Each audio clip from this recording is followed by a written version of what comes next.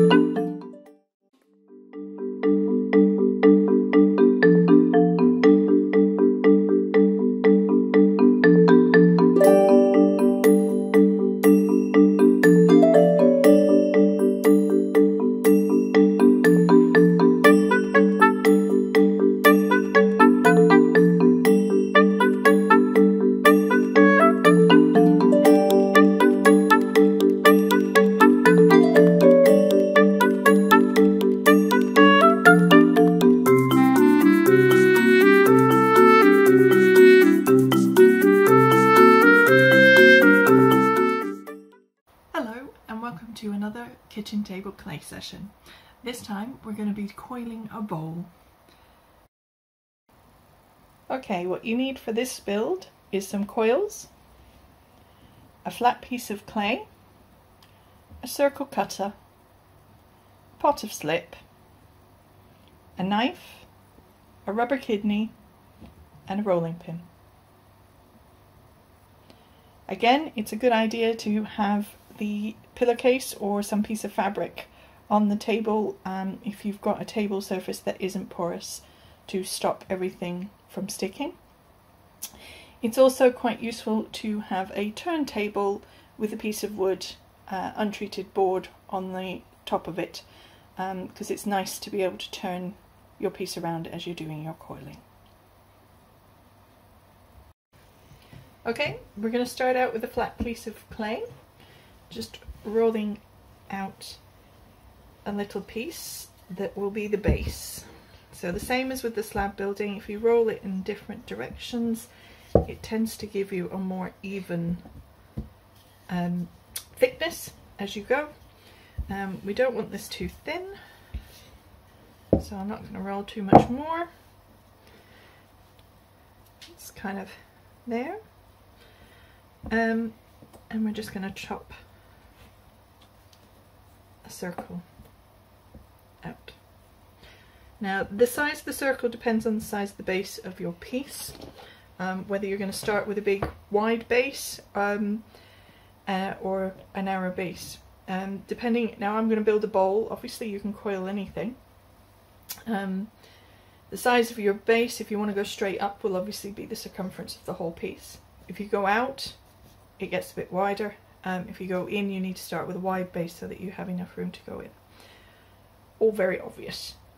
Um, I'm going to put a foot ring on this bowl um, to start with. So the first thing I'm going to do is score all the way around the outside edge. Ready for the slip uh, and the coil to stick.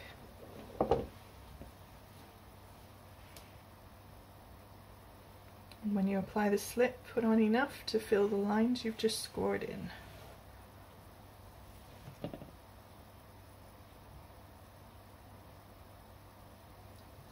Now I've got a little coil, I'm hoping is enough. Now, depending on where you place the coil, if you put it in line with the outside edge, the foot ring will just go straight down. If you put it out a little bit, your foot ring will go out, go be wide at the base and in a little bit. If you put it in a bit, it will be narrow and come out slightly. So I am doing this straight up. Where you've got the edges of the coil to get two nice flat edges that will meet up nicely, you can just cut through both and take away the extra bits pop a little bit of slip on and then just put them together and blend.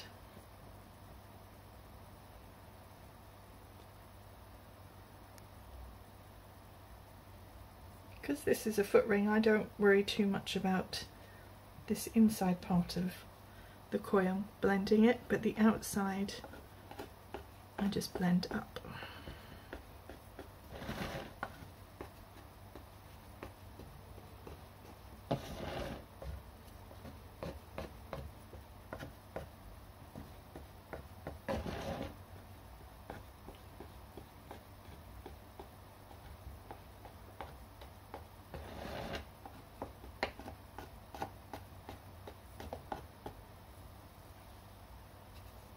Can tidy then with the side of a, a knife, just running it around to smooth.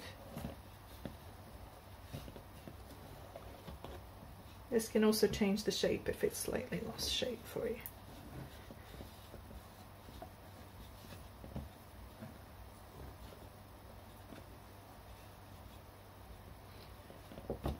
This is a good time to put your initials or your stamp in the bottom of your piece as well, just there. And then we turn it over. Okay, to start coiling the ball shape, we start in exactly the same way as with the foot ring by scoring around the outside edge of the base where we're going to start building the coils up. I should say the way I coil is the way that I've found works uh, for me with my clay, the way I fire in my kilns. Um, and it works particularly well for beginners. I find um, in that it gives me fewer uh, pieces with cracks and things that come out of the kiln um, with a problem. Um, but you don't need to do this and there are a lot of people that have lots of different ways of coiling. This is just mine. Um, I hope it helps somebody, but if you do it different, if you get what you want out of the kiln at the end of it, it's right. Um, there's not really right and wrong ways of doing things uh, unless you're having pieces explode in the kiln or cracking. So I've put the scored and then I've put the slip down. So I'm going to take one of my coils, I'm going to pinch the end of it to make a little sloped piece and then I'm going to put it down like that on the edge of my pot. Now I'm going to make a bowl shape so I want this to go out a bit. So I'm going to take this coil a little way out so it overhangs the edge. If you wanted to go straight up, you would place the coil so that it was in line with the edge, like that. And that would then, every time you built, you would build straight on top, and that would give you a straight up shape.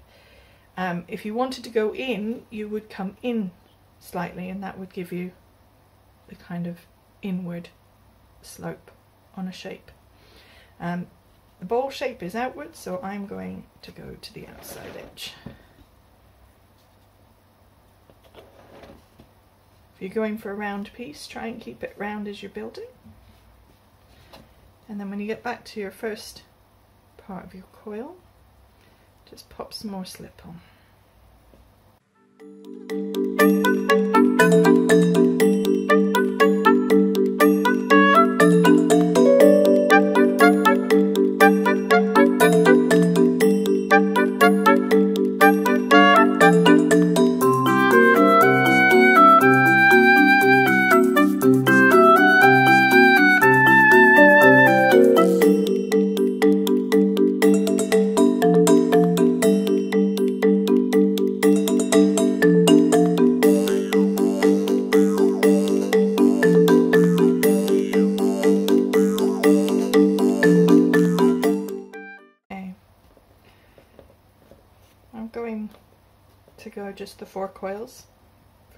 section.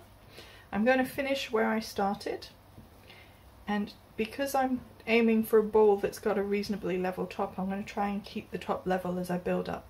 So I'm going to just cut this top edge so that it follows the slope of the first coil that I put on there.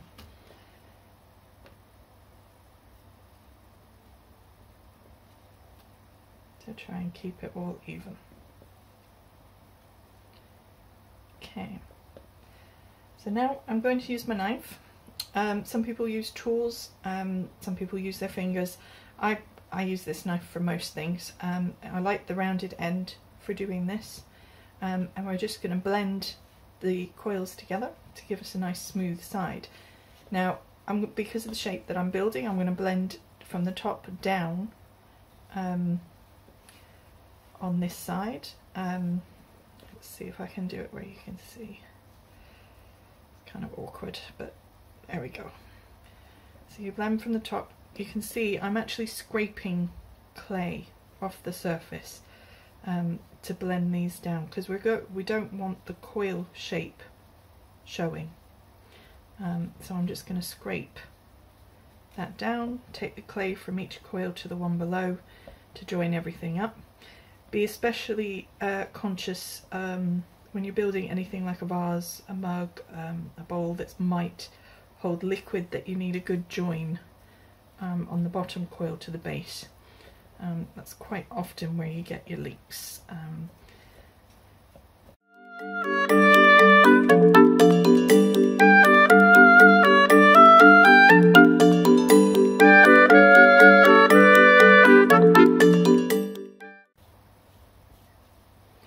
This point I'm not worrying about neatness, I'm just blending things together and I'm also supporting behind with my hand whenever I do the blending. Now because I went down on the inside, I'm going to blend up on the outside. By going in different directions, you're helping um, to build strength into your piece.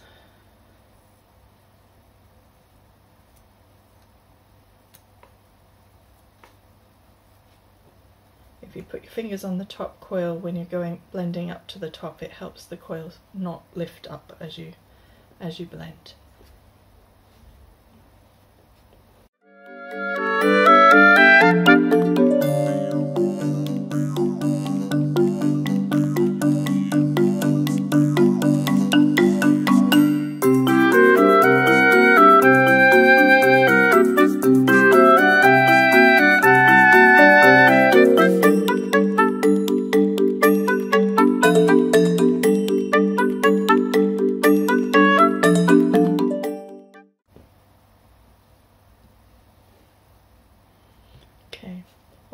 Blended, we can use the rubber kidney to smooth. Now this clay is um, clay that I've used previously for the slab building video. So it's not um, particularly wet, it's dried off a little bit which makes it perfect for building um, with these coils because it's quite strong um, as I build out. If you're building quite steep angles you have to be aware that you only build a few coils at a time because you can imagine as it gets out it's putting a lot of pressure on and you might get something collapse so only build by one or two coils at a time if you're building out steeply and allow it to dry between coil additions um, if you if you start to feel it getting a bit weak.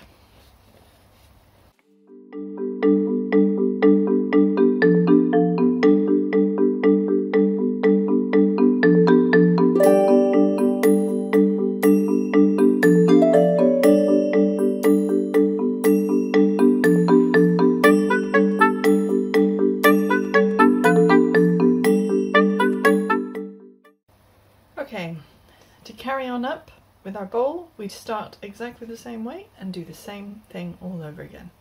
So we score around the edge of the coil where the next one is going to attach.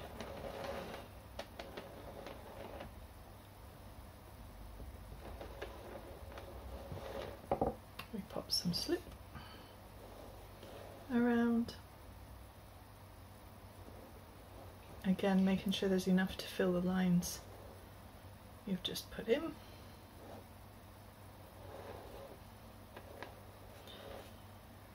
Different people like their slip different consistencies. I tend to work with mine about double cream consistency for the most part, um, especially for this kind of coiling. But again, whatever works best for you. So we've got the end of the coil where I cut um, the slope in last time, so I'm going to start with that coil this time. So we just pop that on and then carry on coiling round.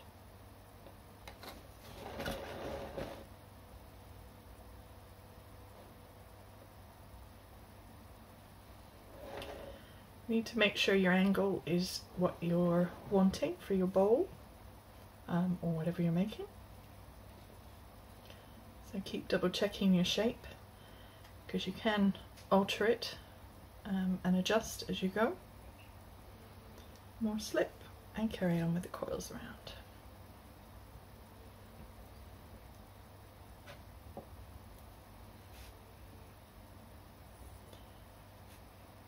When you run out of coil you can literally just pop a bit of slip on and add another coil onto the end.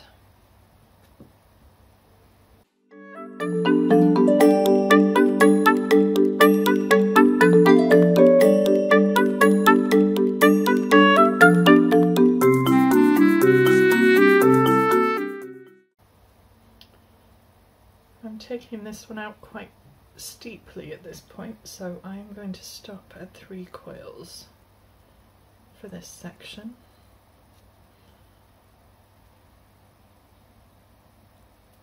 And my coil was a little bit short for cutting, so I've just pinched the end to match where I started. And then we blend again. Again, you go down on one side, you go up on the other.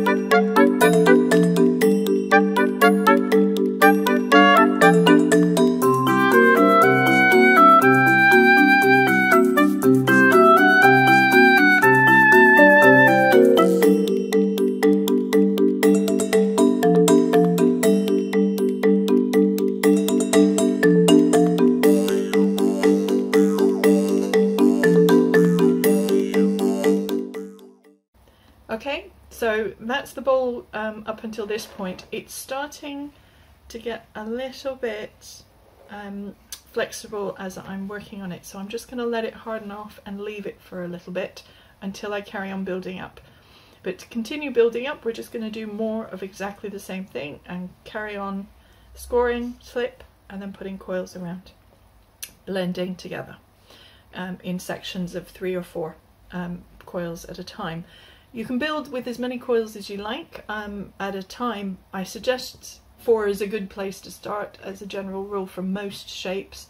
Um, but if you're building straight up, actually you can build as far as you can get in to do your blending um, uh, with your tools or your fingers. Um, and it's fine generally because it, all the weight is straight down.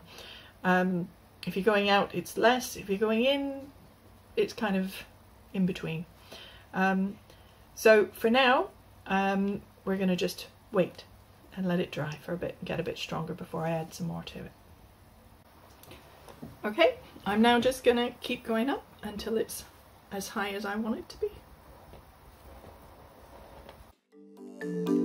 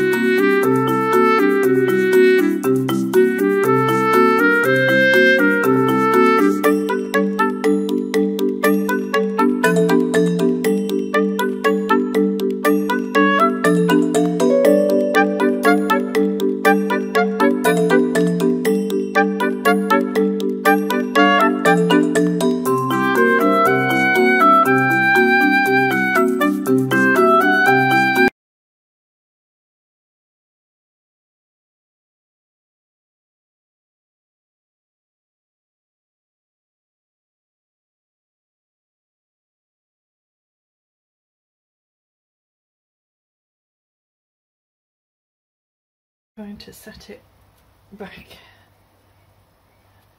in place and turn it over.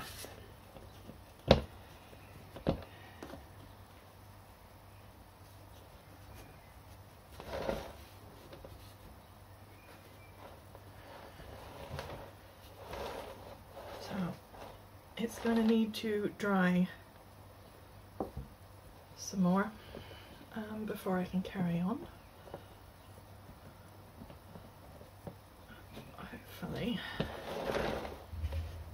If we just leave it to dry.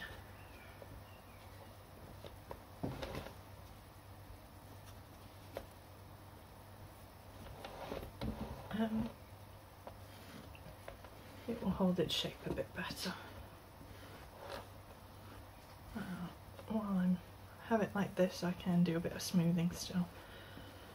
Um, but then it, again I'm going to have to leave it for a bit of time.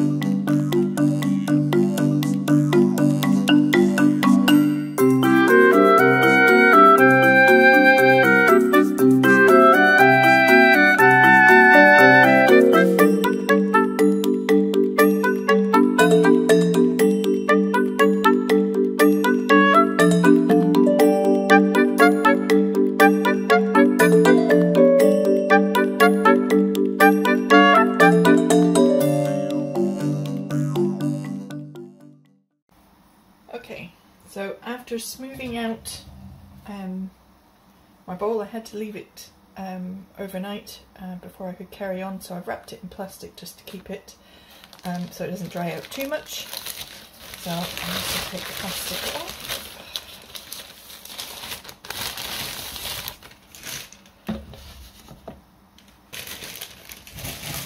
And hopefully this is now strong enough that I can just turn it over. There we go. And now I can work on the inside smoothing off. Um, I'm using a metal kidney um, to scrape and smooth and then um, a rubber kidney to do the final finish um, for this. So I will do exactly the same thing on the inside as I did on the outside and just smooth. Um, you can change the shape a bit at this point if you want, um, if the form's not quite how you want it, um, you can do that um, with the kidneys.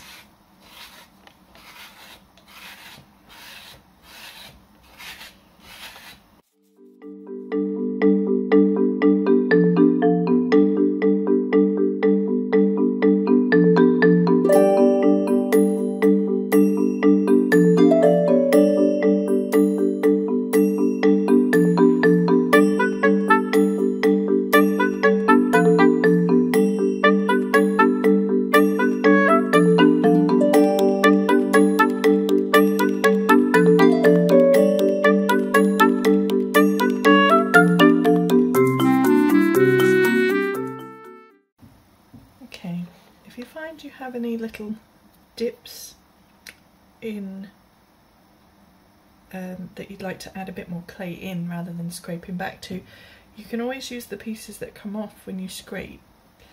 Pop a bit of slip where you want to add it in and then pop that clay in. Try to use the pieces that you um, scrape off because that clay is at the same uh, moisture level as the body of the piece, um, which makes it easier um, to put the clay in um, without getting any kind of cracking or um, bad reactions between the two. sections um, and then just use your rubber kidney to smooth over again.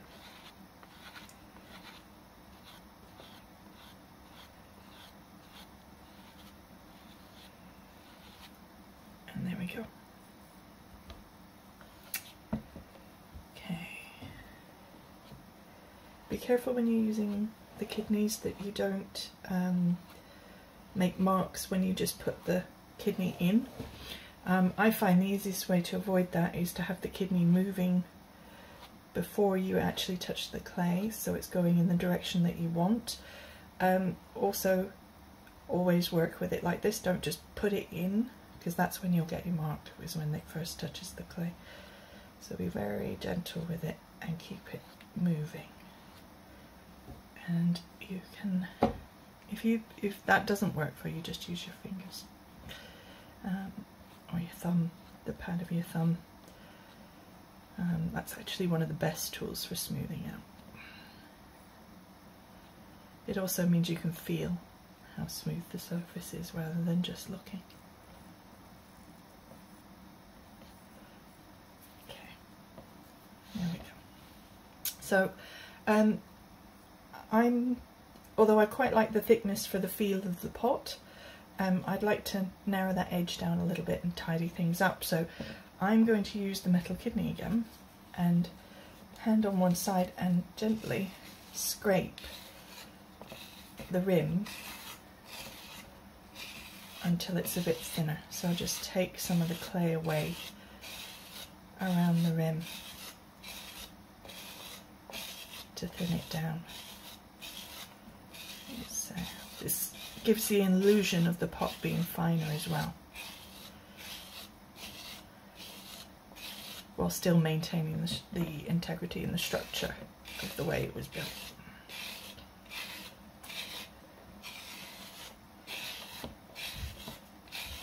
Nice, long, smooth strokes with your rubber kidney, a little bit at a time, don't try and take off too much at a time. It's better to shave a little bit off each time and work your way around, even if you have to do it a few times around.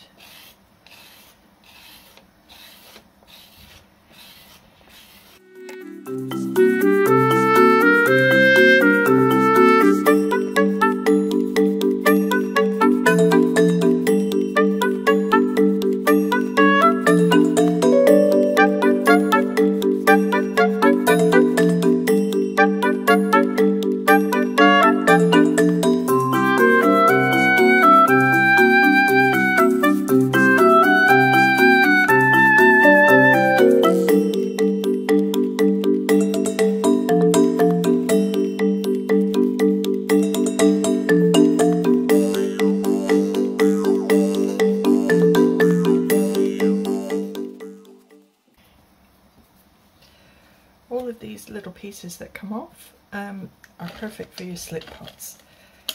So we just dust them out.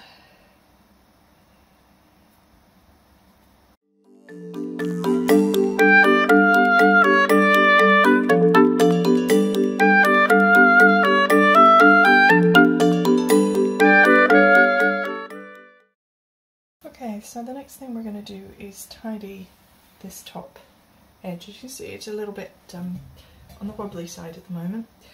We can do most of the tidying up at this point, and it's literally just trimming off where it's raised. Now, I suggest you only do a little at a time with this, um, otherwise you'll end up trimming and trimming and trimming and trimming. It's not going to be perfect. Um, once it's dried off a little bit, there's a trick we can do um, that will level everything off for us. Um, so this is just about getting it as close as we can at this point. And like I say, a little tiny bit at a time. Might need to add in, if you have some low patches like that, we can do the same as we did on the inside, put a bit of slip in, find a little piece that we've taken out and use the knife this time rather than the kidney and just run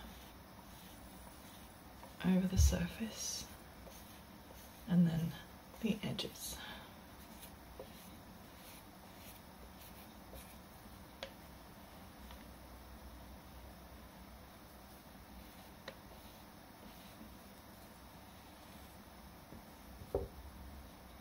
Trim any excess off.